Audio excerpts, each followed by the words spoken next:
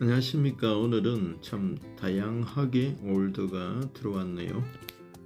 한번 살펴보겠습니다. 이것은 알루미늄 얼싱 스틱입니다. 끝은 스테인레스로 깔끔하게 마감이 되어 있어서 빠지지 않습니다. 그리고 여기 끝부분도 아주 매끈매끈하게 손이 다치지 않도록 되어 있고요. 이거는 순동 얼싱 스틱 일반형 마감이고 요거는 동을 깎아서 만든 뾰족 이형 스틱입니다. 최근에 의싱을 전문적으로 하시는 분들께서 이 제품을 선호하는 분들이 많이 계십니다. 그래서 종종 나가는 모델이기도 합니다. 이 면이 연결면이 속 끼웠는데 전혀 이렇게 거칠지 않고 매끈하게 잘 빠졌습니다. 이것은 또 일반형입니다. 쭉 따라가 볼까요? 일반형이고 손잡이를 손목고리를 끼울 수 있도록 되어 있고 일반형 순동 의식 스틱이고 이것은 고무 리벳 의식 스틱입니다. yani 리벳이 고정이 촘촘하게 되어 있고 안에 레듀사 안쪽에도 고무 안에도 연결 부위에 리벳을 숨어 있는 리벳도 있습니다.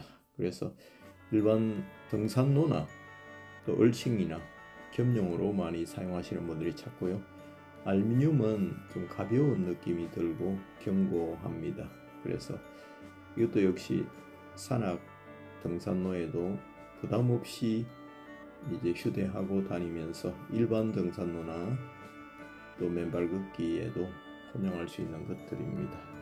하는 것을 선택하셔도 취향에 맞게 용도에 맞게 사용하시면 좋을 것 같습니다. 오늘 참 다양하게 오다가 들어왔네요. 자 한번 끝부분을 다시 한번 보여드리고 넘어가겠습니다. 용도에 맞게 선택하시면 되겠습니다.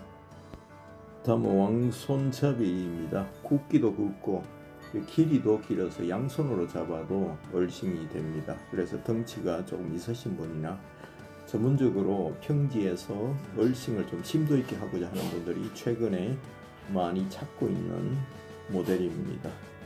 그래서 얼싱 전용으로 좀 더 효과를 적극적으로 보기를 원하시는 분들은 이것도 한번 사용해 보시면 좋겠습니다. 각자 특색이 있으니까 용도에 맞게 사용하시면 되겠습니다. 감사합니다.